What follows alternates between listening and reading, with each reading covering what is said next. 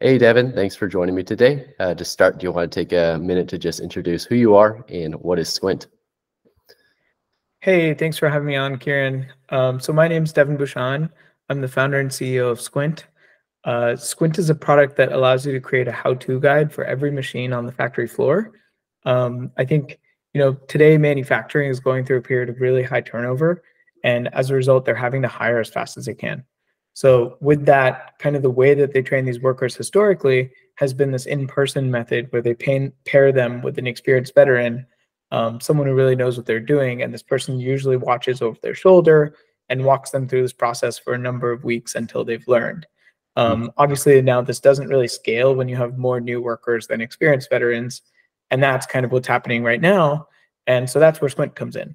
So instead of pairing a new employee with that veteran, um, you can actually give them Squint and they can hold up their phone or tablet at a machine and actually learn how to use it properly and safely with um, instructions in front of them, basically while they work. Cool. And can you talk a little bit more about just like why you're excited about this opportunity? You mentioned uh, the high turnover in the industry and sort of how the product is used, but yeah, I would love to kind of hear more about yeah why you're excited about this. Yeah, I think um, it's really exciting for kind of two reasons.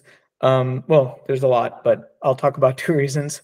I think uh, one is the the kind of the technology, and the other is the customers. So on the technology side, I think we're finally making an AR product that the world can use for real, and it's actually like changing the game for everyone it touches.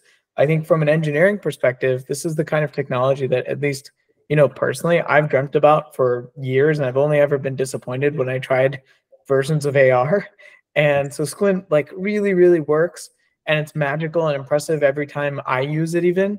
Um, and it's like for that reason, it's really cool to kind of deliver on the promise of AR um, that we've all you know envisioned for so long. Um, on the on the kind of customer side, I think the impact of the product is really felt by our customers. So, for instance, we work with manufacturers like Colgate Palmolive, Volvo, Siemens, and our customers kind of repeatedly tell us that we've cut their training time in half and it's really changing the way that they can plan and hire and train um, their workforce. And so I think those are the kind of two main reasons on the product side and the customer side that I'm really excited about Squint. Awesome, and uh, I'd love to kind of take take me back to the beginning. Uh, I remember watching a video uh, from Menlo Ventures, and you talked about starting Squint, and one of the first things you did was you researched and scored all the verticals that you could bring this AR technology to. Uh, why did manufacturing grade the highest?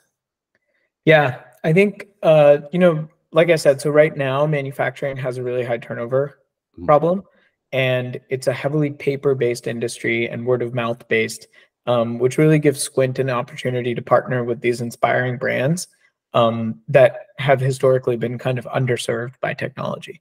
So um, you know, we have customers who just love solving problems. And I think um, the really interesting thing about this industry is that um, this problem solving approach is really ingrained in the way that manufacturing works. So, like, for example, um, most of the machines on factory floors are either modified or entirely custom built because they basically look at you know what's coming in and what needs to be going out and they build something for that specific thing every time and so as a result, you look at the manufacturing floor and it's a marvel of new technology that's all novel. Um, and I think uh, when you think about the mindset that it takes, that approach to problem solving, it lends itself really well when trying new technologies and being receptive to them, you know, like Squint, for instance. Cool. And uh, you mentioned some of these brands that you're you're working with. These are like very large enterprise clients: Volvo, Michelin, Siemens, Hershey's. Uh, kind of curious about uh, the customer side of things. Uh, so, like mm-hmm. when a customer call goes really well and they're sold immediately, like what's the most attractive part of the offering? And then on the flip side, like if a customer is skeptical and there's they get stuck, like where's the pushback? Yeah, I think uh, you know, kind of interestingly, the answer is the same for both of these things. So uh, when when we first like show off the product, the first thing that customers ask about is like hey, this looks really awesome, but how long does this take to actually set up? Right. And historically, if you go and you kind of take a look at the, the like the the space that we're sitting in and, and AR as a whole as an industry, um, it's been very hard to set up and configure. And so with Squint, it actually just takes minutes. Um, the really cool thing is that you map an area, um, which is how Squint recognizes spaces or objects. And that uses just computer vision. There's no special hardware. It takes a minute. And then basically the next step is that you create a procedure. And the way that works is you film a video of someone doing the work, and then we use AI to write the how-to guide. And so in the in a matter of literally maybe five, six minutes, you've created a work instruction with an augmented reality guide attached to it. And once we show that off in a sales call or in that follow-up call with customers as they're like exploring the implementation, it really just blows their minds. And I think it it goes from being the thing that they push back on to being the thing that they're most excited about pretty quickly. Cool. And uh, Squint's vision is to bring this AR technology to other verticals. Uh, so you're starting with manufacturing, but you've teased you want to introduce this mm -hmm. in, in other verticals. Uh, when do you expect to start selling into some of these other industries?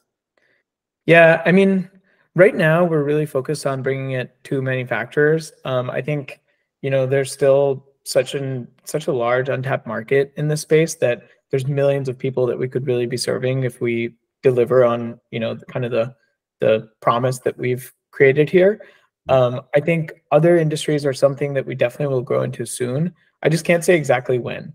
Um, there's certain challenges and things that we have to kind of overcome before we kind of get there. Yeah.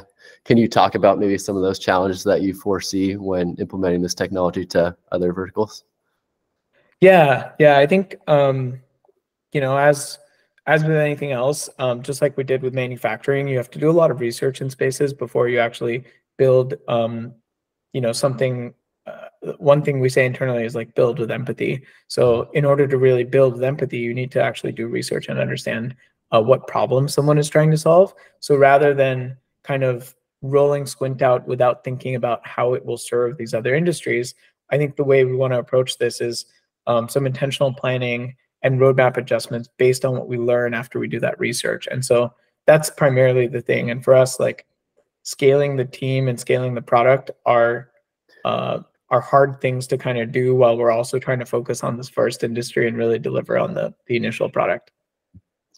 Makes sense. And uh, a few months ago, I was watching this uh, video interview you did, and you kind of teased you want to become sort of like this integration layer uh, where there'll be plugins to get domain specific sources of information, similar to what uh, ChatGPT and OpenAI just did. Uh, can you share more about your progress around building that integration layer and uh, why are customers excited about that? Yeah, I think, you know, I think of Squint as kind of the system of execution for operators. And so, um, you know, our customers have invested over the years in various systems, like uh, some examples being SAP, IBM, Oracle, things like that, that have kind of been around for a long time and are built around enough that they really can't move away from these. And so the the kind of challenge they run into is they don't have a good way to surface all the information across these systems to operators, um, and then also easily let operators on the factory floor manipulate this data um, without having to onboard every new operator to all of these systems that they have in the back end that maintain various you know aspects of the floor. So if you think about it, what we're trying to build with Squint is kind of that single layer that operators interact with, and then behind the scenes, Squint is manipulating and surfacing data from various systems. And so um, once you put something like this in place and you connect it to all the right systems, the thinking is there's like really one place that people touch and it accesses the existing suite suite of uh, you know systems of record. Cool. And uh, taking a step back, uh, AI and AR technology are fairly new, yeah. and uh, the advancements in these industries are happening pretty rapidly. Uh, kind of curious, like, what are you paying close attention to in these fields as it relates to Squint and your long-term vision for the company? Yeah, um, honestly, everything. I think, um, like you said, things are happening so fast that like the things, you know, I'll pick something. So I think the thing that um, I love tracking are kind of in, uh, infrastructure advancements. So on the AI side specifically, I think that's where opportunities will arise for us to use new kind of um, foundational technology to improve the Squint experience.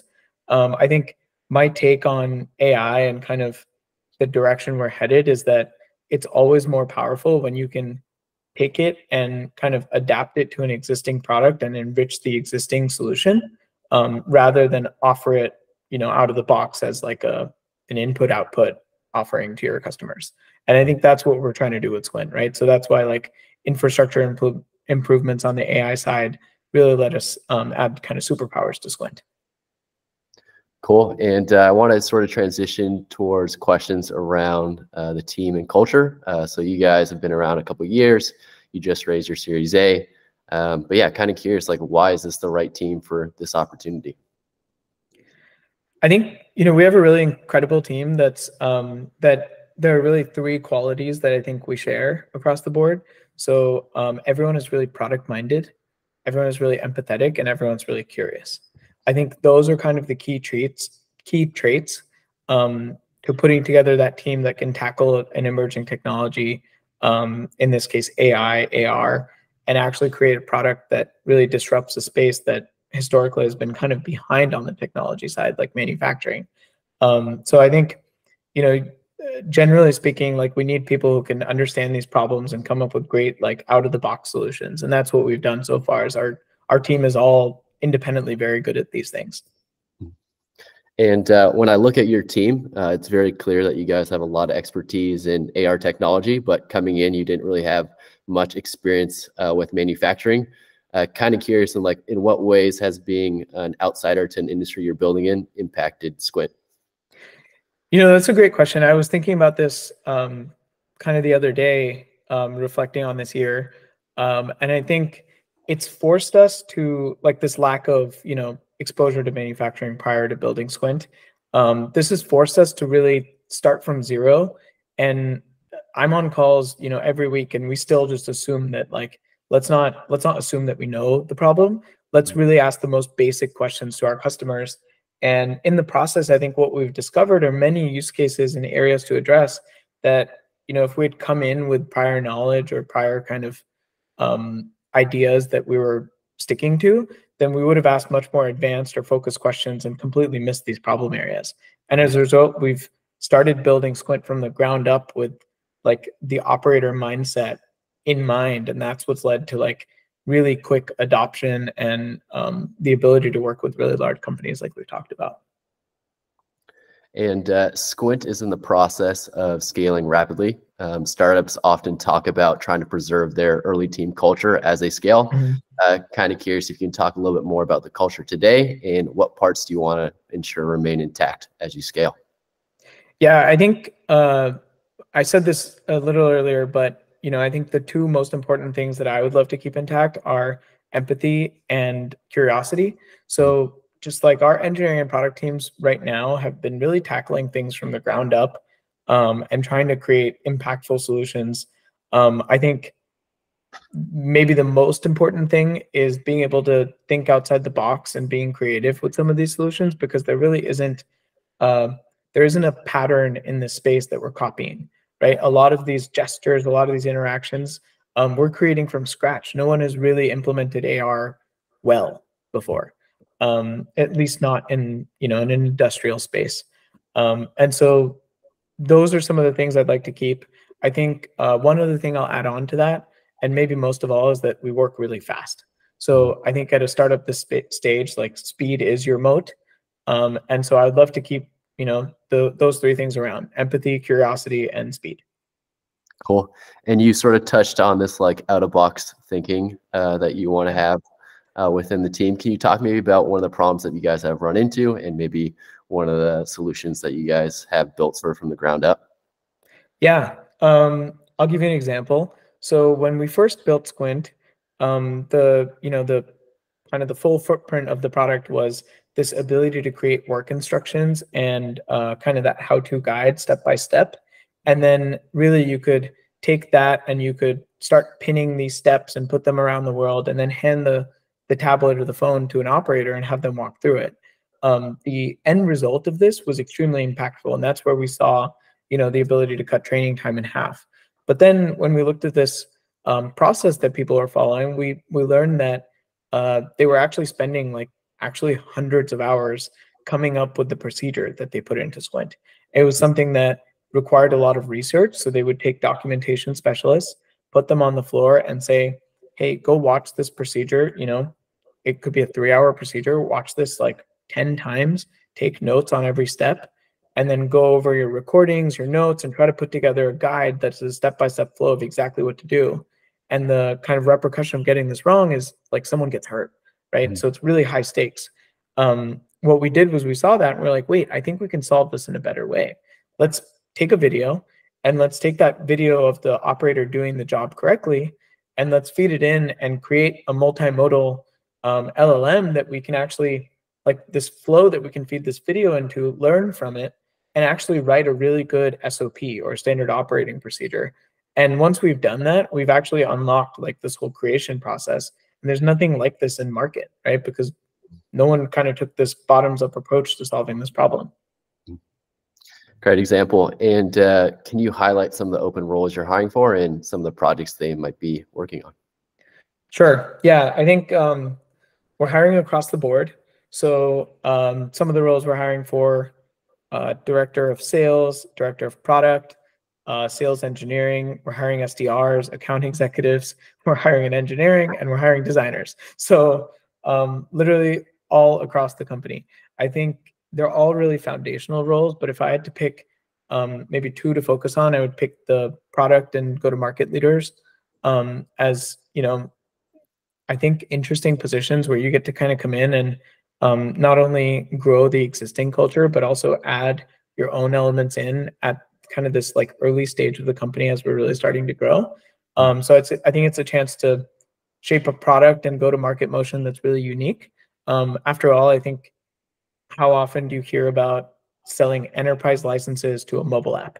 Um, I think that's like pretty interested, pretty um, pretty unique, and hopefully interesting to people out there. So you know, if anyone's interested, please reach out. We're hiring. Awesome. Great way to finish. I'll make sure to link uh, your careers page so everyone can find all the openings. Uh, but yeah, thank you so much, Devin, for joining me today. Thanks, Kieran. Thanks for having me on.